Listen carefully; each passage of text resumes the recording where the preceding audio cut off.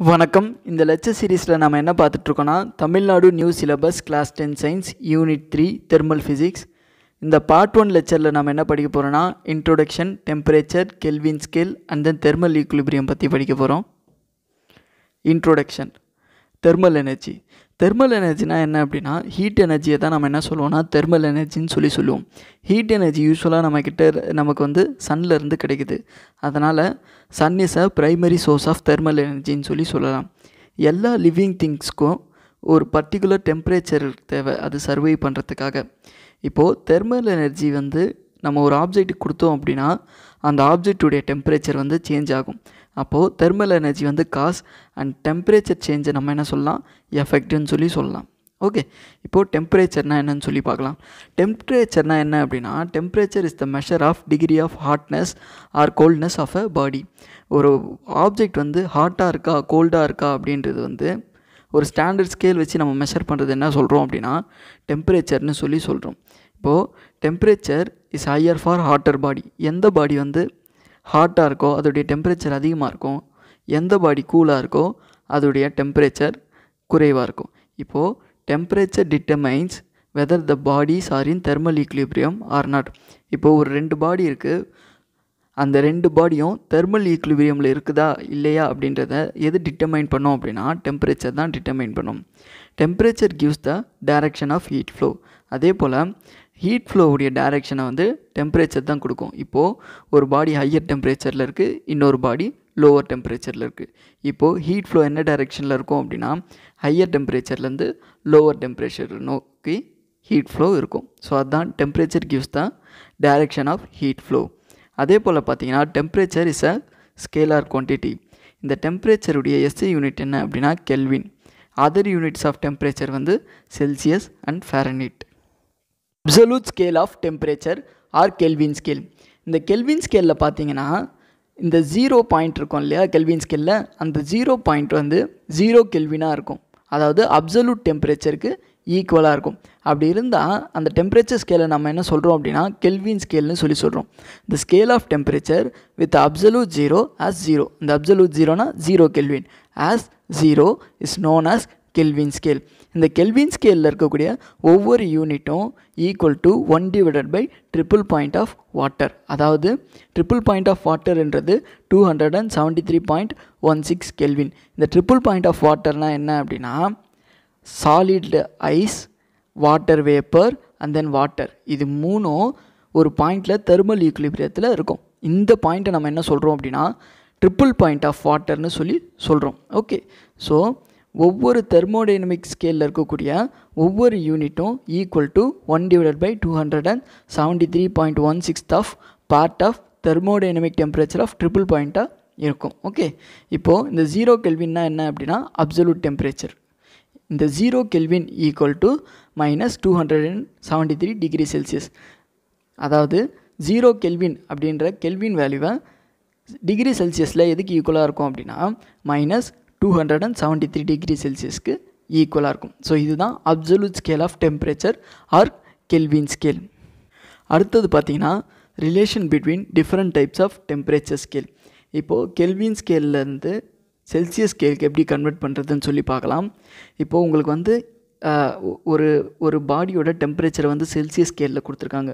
உதாரணத்துக்கு வந்து three hundred degree Celsius இந்த த்ரீ ஹண்ட்ரட் டிகிரி செல்சியஸில் இருக்கிறத எப்படி கெல்வினில் மாற்றலாம் அப்படின்னா இந்த செல்சியஸ் இருக்குல்ல three hundred degree Celsius plus two seventy three பண்ணிங்க அப்படின்னா உங்களுக்கு வந்து வேல்யூ வந்து கெல்வினில் கிடச்சிடும் ஓகே இப்போது கெல்வின் அண்ட் ஃபேரனிட் ஸ்கேலுக்குள்ள ரிலேஷன் பார்க்கலாம்.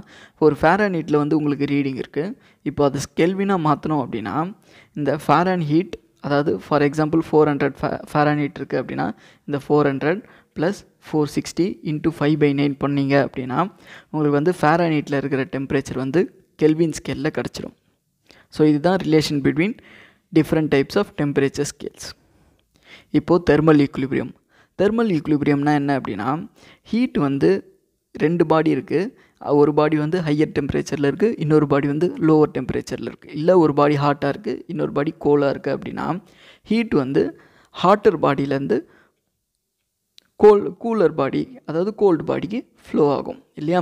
இப்போது இந்த ஹீட் ஃப்ளோ எப்போ ஸ்டாப் ஆகும் அப்படின்னா இந்த ரெண்டு பாடியும் ஒரே டெம்பரேச்சர் அட்டைன் பண்ண உடனே ஸ்டாப் ஆகிடும் உதாரணத்துக்கு ஒரு கப் ஆஃப் காஃபி எடுத்து நம்ம டேபிள் மேலே வச்சோம் அப்படின்னா கொஞ்சம் நேரம் கழித்து அது வந்து ரூம் டெம்பரேச்சருக்கு வந்துடும் ஏன் ரூம் டெம்பரேச்சருக்கு வந்தது? அந்த கப்பில் இருக்கிற காஃபியும் இந்த ரூமுடைய டெம்பரேச்சரும் ஈக்குவலாக இருக்குது ஸோ அதனால் வந்து அது ரூம் டெம்பரேச்சருக்கு வந்துடுச்சு ஸோ அதை நம்ம என்ன சொல்கிறோம் அப்படின்னா தெர்மல் ஈக்குலிபிரியம்னு சொல்லி சொல்கிறோம் ஹீட் என்ன டைரெக்ஷனில் ஃப்ளோ பண்ணும்? ஹீட் எதுலேருந்து எதுக்கு ஃப்ளோ பண்ணோம் அப்படின்னா hotter body to colder body தான் ஹீட் ஃப்ளோ ஆகும்.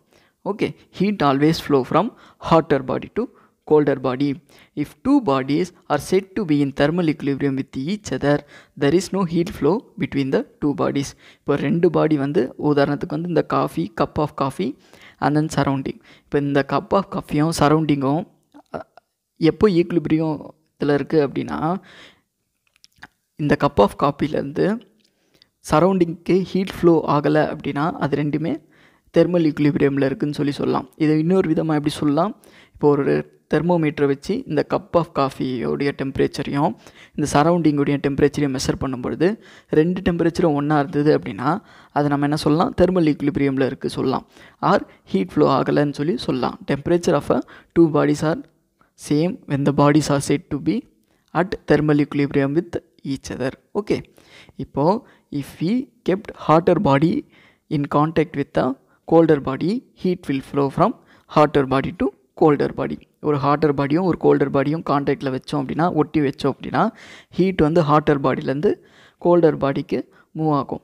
ஆஸ் எ ரிசல்ட் என்ன ஆகும் temperature of the hotter body கம்மியாகும் கோல்டர் பாடி ரைஸ் ஆகும். இப்போது அதை ஹாட் காஃபியில் இருக் வந்து சரௌண்டிங்கில் வச்சோம் அப்படின்னா இந்த ஹாட் காஃபியோடைய டெம்பரேச்சர் கொஞ்சம் கொஞ்சமாக குறையும். பட் சரௌண்டிங்கோட டெம்பரேச்சர் கொஞ்சம் கொஞ்சமாக அதிகமாகும்.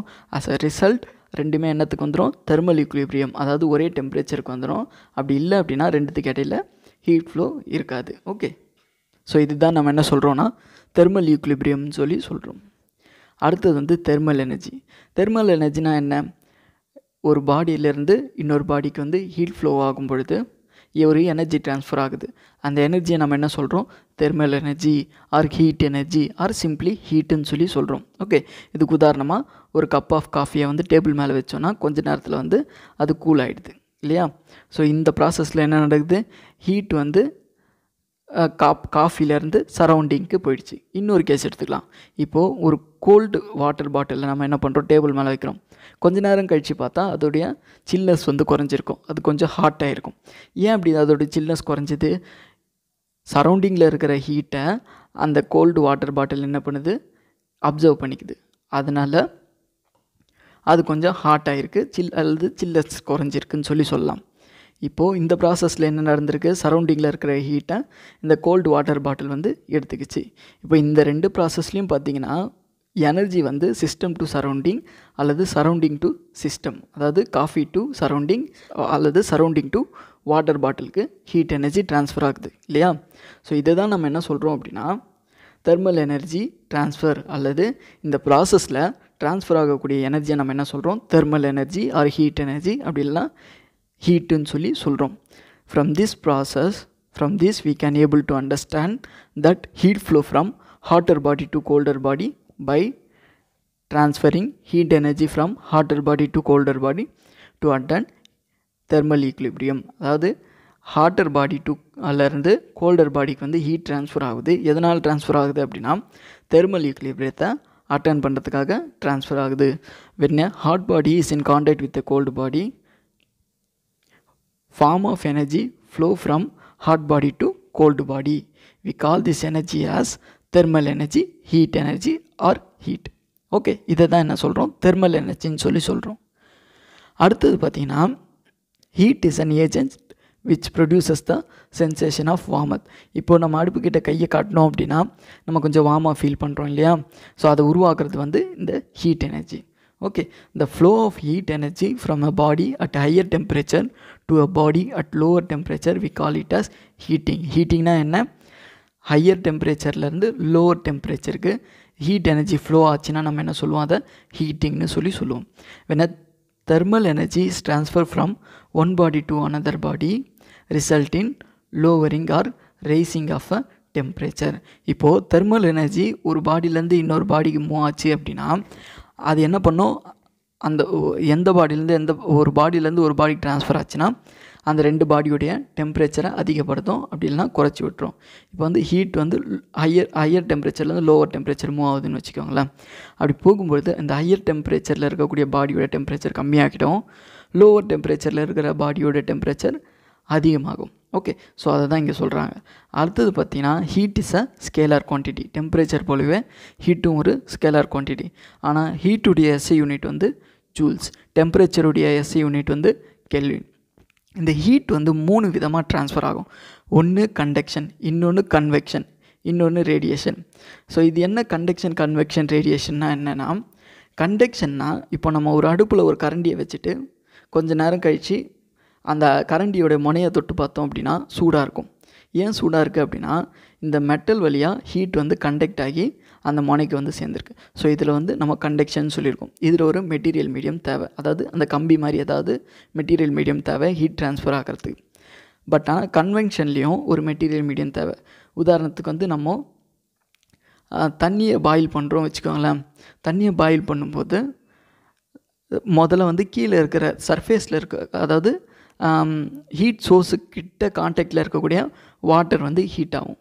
அப்படி ஹீட் ஆனதுக்கப்புறம் அது என்ன ஆகும் அப்படின்னா மேலே போயிட்டு மேலே கூலாக இருக்கிற வாட்டரை கீழே அமுச்சிவிடும் ஓகே ஸோ அடுத்தது அது அது வந்து ஹீட் ஆகும். அப்படியே மா சுழற்சியாக பண்ணிக்கிட்டே இருக்கும். ஸோ இந்த ப்ராசஸை நம்ம என்ன சொல்கிறோம் அப்படின்னா கன்வெக்ஷன் இந்த கன்வெக்ஷன் வந்து கேஸஸ்லேயும் லிக்விட்ஸ்லேயும் நடக்கும். அதாவது தண்ணி சுட வைக்கும் பொழுது இந்த கன்வெக்ஷன் வழியாக தான் ஹீட் வந்து ஃப்ளோ ஆகுது. கண்டக்ஷன் ஒரு கரண்டியை அடுப்பில் வைக்கும் பொழுது இன்னொரு போன சூடாகிறது வந்து கண்டக்ஷன் பட் கண்டக்ஷன்லேயும் கன்வெக்ஷன்லேயும் மெட்டீரியல் மீடியம் தேவை. அதாவது தண்ணியோ இல்லை ஒரு மெட்டலோ தேவை. இந்த கண்டக்ஷன் அண்டு கன்வெக்ஷன் வழியாக ஹீட் ட்ரான்ஸ்ஃபர் ஆகிறதுக்கு. பட் ஆனால் ரேடியேஷனில் இந்த மாதிரி எந்த மீடியமும் தேவை கிடையாது. வேக்யூம்லேயே வந்து இந்த ரேடியேஷன் வந்து ஃப்ளோ ஆகும். ரேடியேஷன் வழியாக ஹீட் வந்து ட்ரான்ஸ்ஃபர் ஆகும். இதுக்கு எக்ஸாம்பிள் வந்து சன்லேருந்து நம்மளை வந்து ஹீட் வந்து ரீச் ஆகுது இல்லையா? ஸோ அது எப்படி ரீச் ஆகுதுன்னா இந்த ரேடியேஷன் வழியாக தான் ஹீட் ட்ரான்ஸ்ஃபர் சன் டு நமக்கு நடக்குது. ஓகே நம்ம சேனலை சப்ஸ்கிரைப் பண்ணாதவங்க சப்ஸ்கிரைப் பண்ணிவிடுங்க உங்கள் ஃப்ரெண்ட்ஸ் கிட்ட ஷேர் பண்ணுங்கள் தேங்க்யூ